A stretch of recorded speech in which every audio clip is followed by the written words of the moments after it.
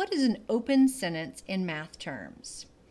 I'm Bon Crowder, and we're talking about open sentences and also closed sentences a little bit. So, a sentence in math is kind of like a sentence in English. It has a subject and a verb. So the sentence 8 plus 14 is 72. That equals is like the is. So that's our verb.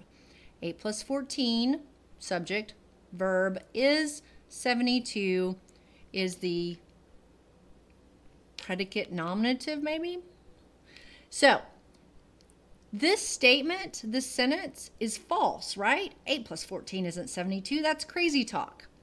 But the fact that it's false means it's a closed sentence. We know for sure whether it's true or false.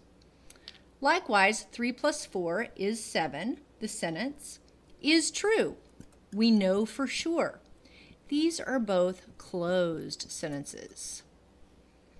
This guy, however, x minus 7 equals 4, I don't know if he's true or not. Now, you can tell me, well, x is clearly 11. Well, if x is indeed 11, then that's a true statement. But X is in disguise. I don't really know what he is. X could be 85. If X is 85, that's a false sentence. So because this is, who knows, true or false, this is an open sentence. I'm Bon Crowder, and that's what an open sentence in math is.